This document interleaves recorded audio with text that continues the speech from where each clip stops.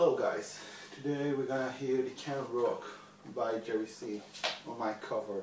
I'm using an Ibanez RD370, the Digitech RP355, the Boss RT3 and the Fender 25R.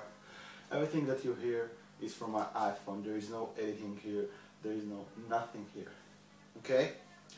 And all the sound that you hear is from the amp itself, so it's underneath the iPhone. Um, uh, before we start, uh, I want to mention that this is great, great, great uh, music you can rock, and it's really difficult. So hope you enjoyed, and let's hear.